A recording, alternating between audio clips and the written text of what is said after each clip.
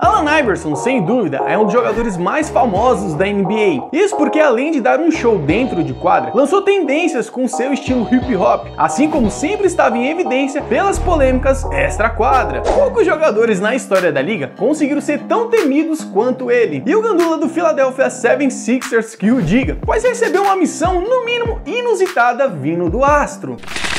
Salve manos e minas do Bosca, meu nome é Vinícius e sejam todos bem-vindos ao canal. Alan Iverson era conhecido por ser um jogador muito baladeiro e tido por muitos como descompromissado nos treinos, e sendo de certa forma um mau exemplo para os seus companheiros de time. E o Chris Mannix, que hoje é um redator sênior do Sports Illustrator, conta uma história sobre a lenda na época que ele era apenas um gandula e que teve que acatar um pedido bizarro do lendário armador. Mas antes da gente contar essa história, já deixa o like aqui no vídeo para fortalecer o nosso trabalho e se inscreve aqui no canal pra ajudar a gente a bater nossa meta de 100 mil inscritos até o final do ano. E agora sim, sem mais enrolação, solta a vinheta e bora pro vídeo.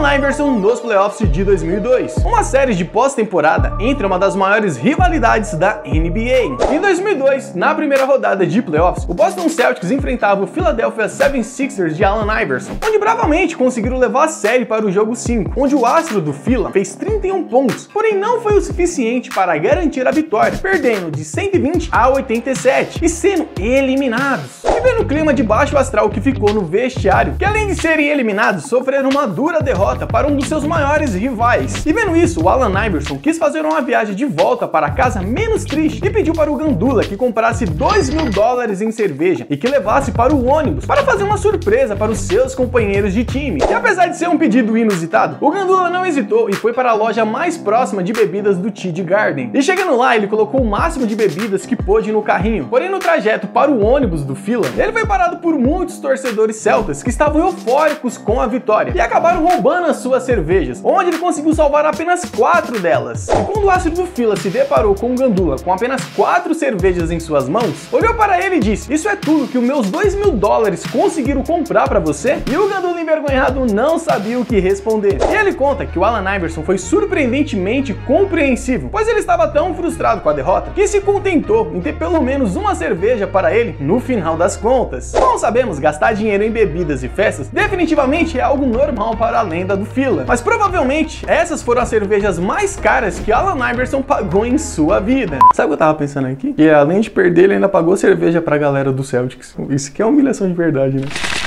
Galera, eu espero que vocês tenham gostado do vídeo. E se sim, não esqueçam de deixar o like aqui pro YouTube entender que você curtiu. E assim ele nos recomenda para mais fãs de basquete. E se inscreve aqui no canal para fazer parte dessa comunidade que só cresce. Assim como siga a gente também nas nossas redes sociais, principalmente no Instagram e no TikTok. E eu vou encerrando por aqui, mas continue nos assistindo nos cards estão aparecendo aqui na tela. E falou!